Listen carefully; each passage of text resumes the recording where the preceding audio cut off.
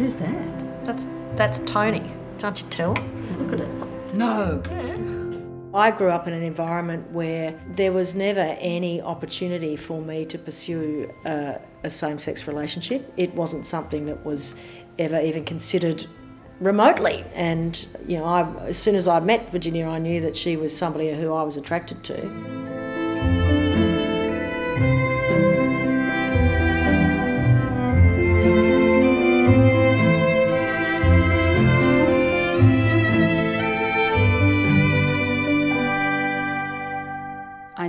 The love I had for Christine was something that I couldn't live without.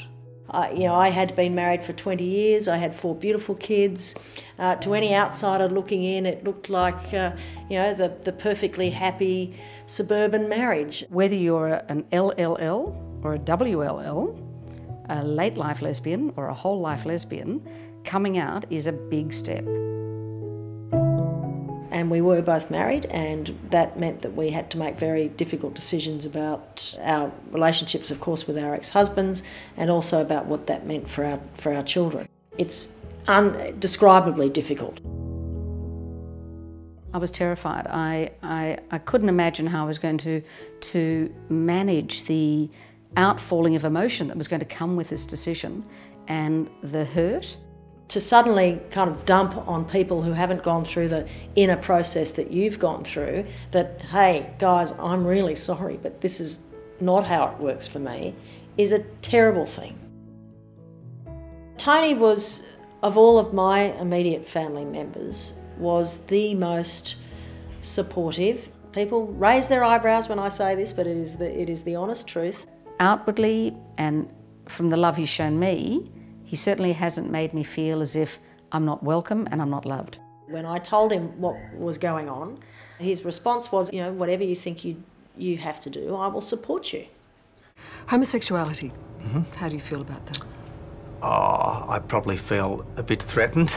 Marriage is between a man and a woman. it challenges, if you like, uh, orthodox notions uh, of the right order of things. I just don't think that marriage is the right term to put on it.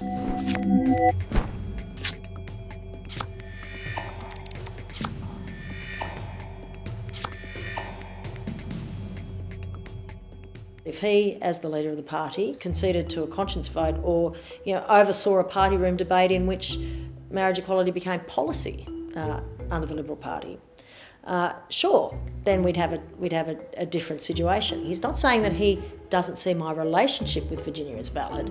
He's just saying that he doesn't believe that we, we should come under this umbrella of the institution of marriage because, as he sees marriage defined, the legal institution of marriage, as it was historically, he sees it as that is how it exists. It has to be between a man and a woman. Of course it hurts, and that's why Christine and I have stood to our ground. I think he's wrong, uh, but he's entitled to his view, and uh, it would and I it would be great if he turned around tomorrow and said, "I've had a change of heart." And I wish her and Virginia all the best for their future happiness. And you'll go to her wedding. And and and if there's a ceremony of some kind, uh, yes, I'll be there uh, with a present. But look, I am a traditionalist, Neil, on this. Uh, that kind of sol- sol- solemn- solemnised relationship has been between a man and a woman.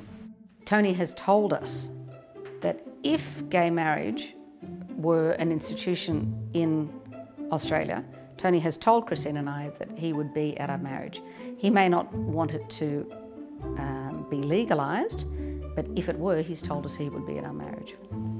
Page boy Tony, I don't know, maybe see him a little blue velvet cap. We'll say, we'll wait and see. We've been given freedom to, you know, be open, be public, to not have to hide ourselves away. I would never advise my children to live a life where you, hide yourself away and that you're not open and honest about who you are. If I can't be like that and model that to them, then how can I tell them that that's the best way to live? Kids are a lot braver than we think they are, and they're a lot more resilient. The life I have now is more honest, it's more real. Families come in all shapes and sizes, and there aren't any conventions, and, there, and nor should there be. because human beings are human beings and they fit in their place in the world the way they want to fit, and fantastic. What a better world we all, we all have. The freedom uh, of knowing that you're authentic and honest is, is worth the struggle. If you're as lucky as Virginia and I are, in that you have very happy, successful, well adjusted, healthy children, then there's not a lot to be not happy about. Cheers. We always do a lot of cheers. I feel proud that Christine and I can be a voice for the gay community to say, you've got to be honest, you've got to be truthful. You know, I'm just a, a regular lesbian about town.